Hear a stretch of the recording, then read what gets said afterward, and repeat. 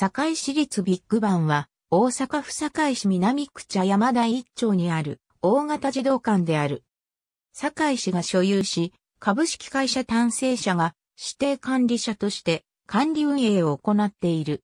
名誉館長は松本零士。1999年6月に大阪府立大型児童館ビッグバンが開設された後、2021年3月末に大阪府から堺市に移管された。リニューアルオープンに向けた工事を実施後、堺市立ビッグバンとしてのオープンは、当初は2021年4月29日であったが、新型コロナウイルス感染拡大の影響を受けて延期されたため、緊急事態宣言の発出が解除された後で2021年6月22日にリニューアルオープンした。1階エントランスにのびのび過ごせる絵本広場や赤ちゃん広場、憩い広場のエリアができたほか、AR で動き出すトリックアート階段などが新設されている。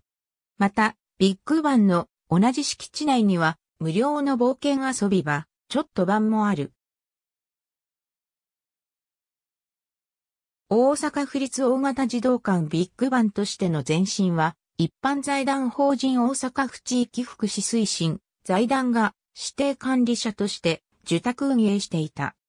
総工費約171億円をかけて1999年6月に開設。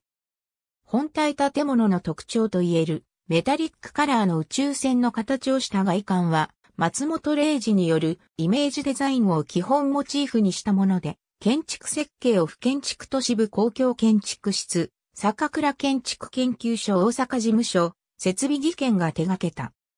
その後、橋本徹が2008年2月に大阪府知事として登場して、危機に瀕した財政立て直しのために公共施設の廃止や売却の方向への木並み提起した際には、ビッグバンの存続についても物議を醸し出している。